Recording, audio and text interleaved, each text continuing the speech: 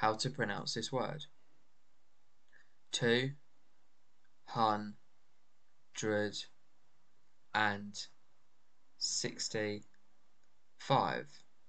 265 265 two her an dr ed and six t for 265, 265, 265,